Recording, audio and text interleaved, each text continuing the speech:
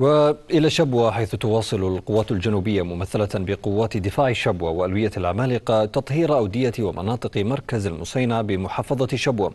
وتمكنت القوات الجنوبية منذ انطلاق عملية سهام الجنوب من تحرير عدد من المرتفعات الجبلية والأودية والشعب كان آخرها شعب طفا. فيما تمكنت من الوصول إلى عمق وادي مذاب الذي تتخذ منه الجماعات المسلحة معقلا لها.